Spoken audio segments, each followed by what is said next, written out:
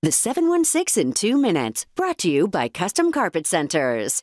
I'm Jeff Resack with 7 Eyewitness News. We're taking you through the 716 in two minutes. Police are looking for a suspect in connection with a deadly shooting here in Buffalo. Police say somebody shot a 31 year old man several times inside of a home on Millicent Avenue. That's between Eggert and Suffolk near Roosevelt Playground.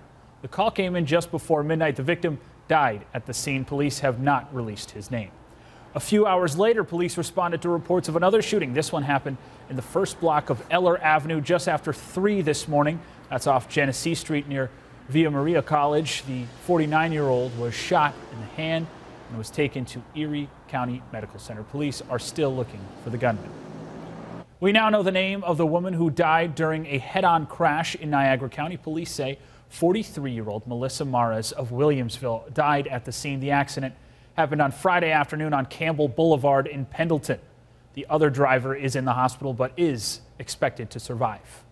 Now we get a look at our forecast with meteorologist Michelle McLeod. Hey, Michelle. Hey, Jeff. We're starting the morning off with snow coming in from the southwest. You'll notice it transitions over to a rain snow mix. We can expect to see some sleet in there as well. Those temperatures will still be in the 30s. And in fact, your highs for today will be in the 30s.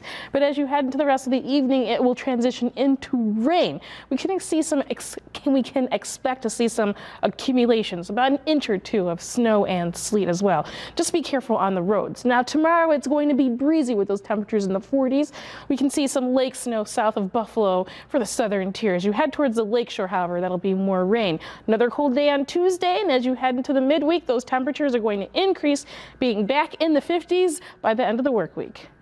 The 716 in two minutes, brought to you by Custom Carpet Centers.